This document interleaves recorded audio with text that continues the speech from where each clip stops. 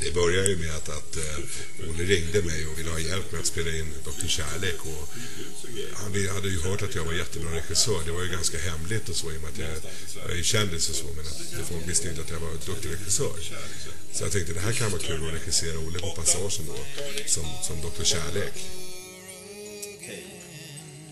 Dr. Kärlek och jobbat som kärleksrådgivare på Passagen.se.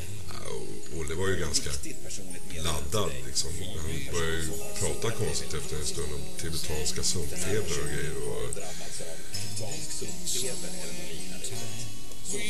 Då var jag tvungen att bryta för vad hade det med kärlek att göra liksom? Uh, inte, alltså inte han eller hon, utan en person. För att de skulle kunna bestämma sig så kallad man måste ju vara ödmjuk liksom när man regisserar och sådär. Och, och tålamod med, med, med jag gjorde klappar liksom och så. Sen, sen att jag skrev fel där på då, kärleksrådgivare så det var för att jag inte hade läst glasögon och så. Men, men liksom, det förlåter man nog. Jag, jag är känd.